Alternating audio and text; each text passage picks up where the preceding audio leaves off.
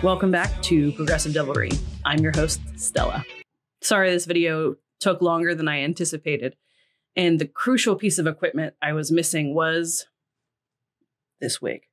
As you may know, Wenatchee was snowed in last week, and it delayed the delivery of my colonial hairdo. And it was absolutely imperative that I have it for the filming of the First Amendment piece. So, anyway, today we are going to talk about the First Amendment. Locally and across the country, there seems to be a misunderstanding of this particular amendment regarding free speech. It's true that you can say whatever your cold, dead heart desires in the good old US of A, but that doesn't mean that people still have to have respect for you afterwards, or that there won't be real world consequences.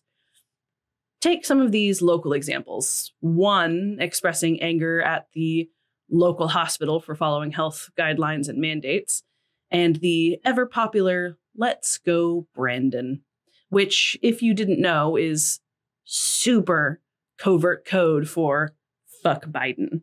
That one I understand less, because if you want to say fuck Biden, then why don't you just say it? Are you scared? You know that saying fuck Biden is legal, right? That it is protected under the First Amendment. So adding in some not so secret code phrase is just asinine. A lot of people, including a local attorney who is currently the legislative representative to the Wenatchee School Board, has misrepresented the First Amendment by equating it with refusing to comply with a mandate to wear masks during a worldwide pandemic. it's an open public meeting. It's kind of like a a a public forum as you will. A group showed up wanting to exercise their first amendment right to to be unmasked Being unmasked is not protected under the First Amendment, Julie.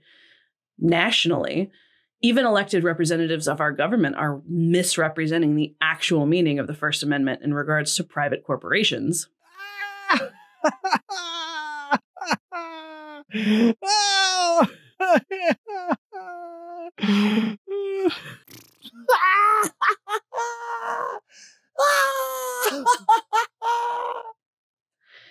I'll say it again real quick. You can say whatever you want, but that doesn't mean people have to listen. And there are real world consequences for what you say. I'll probably go over every aspect of this amendment in the future, but today we're only going to focus on the freedom of speech aspect. The, in my opinion, purposeful misrepresentation of the First Amendment by some people in powerful leadership positions needs to be addressed. It seems like a lot of people equate freedom of speech with freedom from consequences. As we'll go over, freedom of speech literally just means the government can't detain you for what you say under very specific circumstances, determined through nearly 250 years of legal precedent. You can, in fact, be arrested for what you say, though it just depends on the situation whether or not you'll be convicted. The full amendment is as follows Congress shall make no law respecting an establishment of religion, or prohibiting the free exercise thereof, or abridging the freedom of speech, or of the press, or the right of the people peaceably to assemble, and to petition the government for a redress of grievances. So, what we are focusing on is Congress shall make no law abridging freedom of speech. The word abridge means to cut short or curtail in this sense. This is later clarified in the hundreds of First Amendment cases which set the legal precedent. One of the earliest examples of curtailing freedom of speech is in 1819, State v. Gruber, where Reverend Jacob Gruber, a Methodist minister, spoke to a crowd of between 3,000 to 5,000 in August of 1818. Gruber spoke out against slavery. His famous quote from his sermon Is it not a reproach to a man, Gruber asked his audience, to hold articles of liberty and independence in one hand and a bloody whip in the other? That really made some Southern white dudes angry. So they got a warrant for his arrest on the basis they said he was trying to encourage a rebellion. The jury acquitted him because, in order to convict him, the prosecutors needed to prove that Gruber had a criminal intent in making that speech. Another well known example of the prosecution of free speech, one they call a landmark decision that sets and sometimes overturns precedent in court cases, is Schenck v. United States. Now, this one is interesting because it ended up being partly overturned 50 years later when similar cases came forward during the Vietnam War draft. Basically, in 1919, two people were convicted under the Espionage Act of 1917 because they spoke out against the draft of World War I. And this became a landmark precedent which gave Congress more latitude in restricting free speech during times of war. Charles Schenck and Elizabeth Baer created and distributed leaflets to service members. The leaflet suggested that the draft was an infringement of the 13th Amendment and promoted slavery. This was the case that created the clear and present danger test, voiced by Supreme Court Justice Oliver Wendell Holmes Jr. This case is where the example of shouting fire in a crowded theater comes from. In other words, if a person's speech, either written or spoken, causes a clear and present danger, then it does not count as free speech. Sticking with the shouting fire in a crowded theater example, this could cause people to be trampled and potentially die.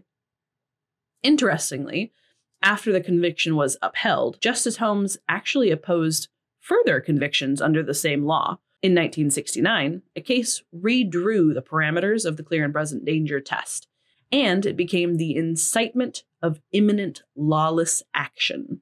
This case, of course, was overturning the conviction of a white supremacist, so that's cool.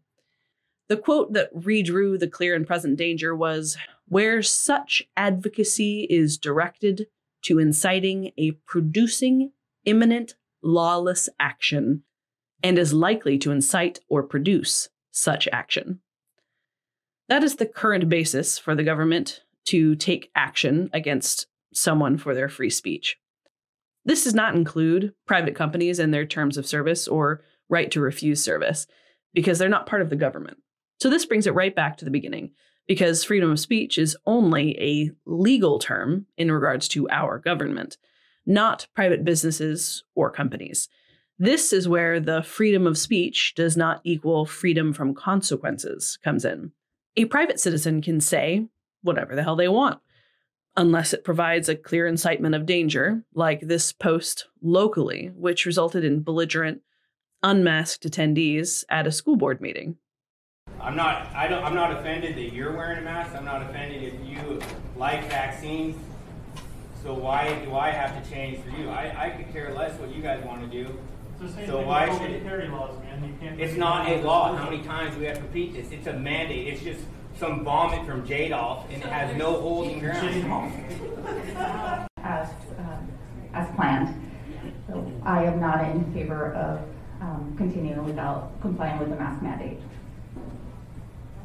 So be the conclusion of the board that It's masks not are time for a here. discussion, I'm sorry, we're not having a discussion with the public right now. My name's Luke Dietrich. I'm sorry, I don't, I'm we are sorry. not, You were mentioning about We your children. will- I have a we six-year-old daughter. I have a adjourn the three-year-old son, and I have a one-year-old son.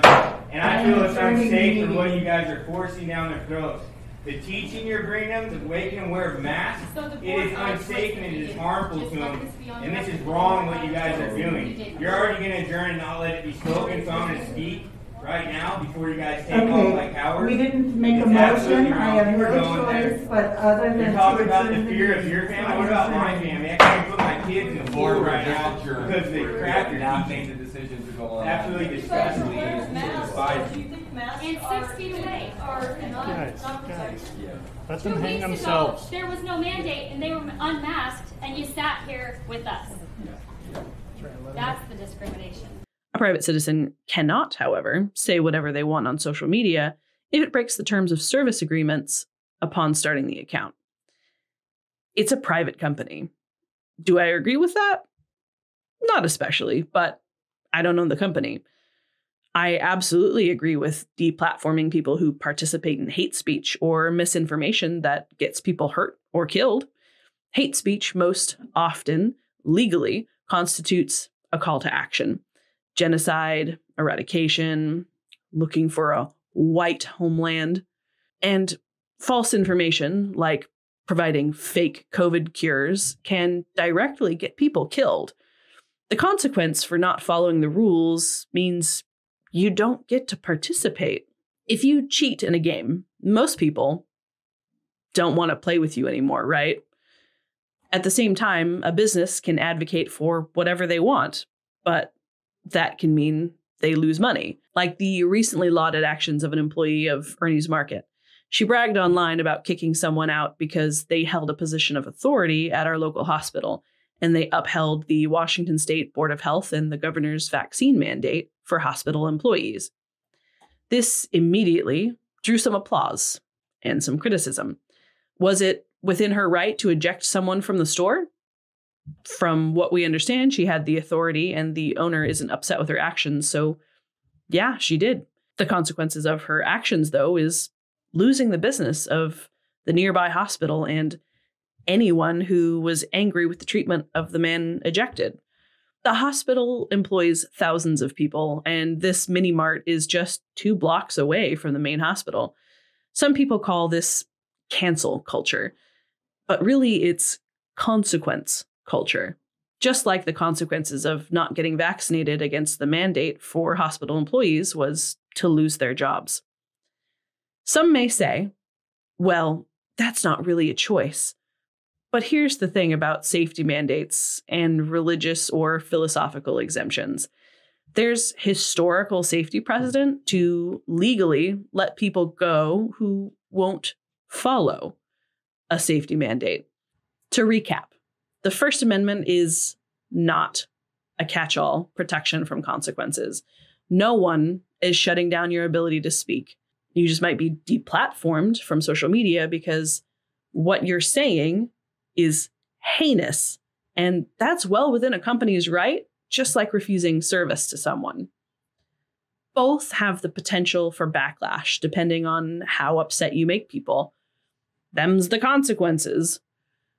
So, the next time you see a politician bemoaning big tech or some other privately owned company banning someone's account for not following their terms of service, which is very much within their rights, make sure they know they're full of shit.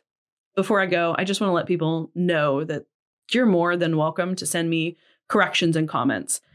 I am not a legal expert. I'm just somebody who knows how to use Google uh, and can read. So I try and pass on those savings to you. um, but if you're commenting and you're not sourcing the things that you're saying, or your opinions are just rambling in the comment section, I won't respond.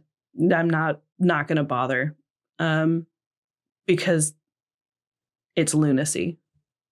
No sources, no response. I'm not going to waste my time proving just how wrong you are in your anti vaccine nonsense because you aren't going to change your mind. I know this, and you know this. I'm also not going to go through and delete comments either because you're free to say what you think. And honestly, the ridiculousness is great fodder for future episodes. Thanks for watching, and uh, let's continue to make progress. Hit that subscribe button to stay updated with us. And any sources we've used in today's episode are below or are available on our website at progressivedevilry.com.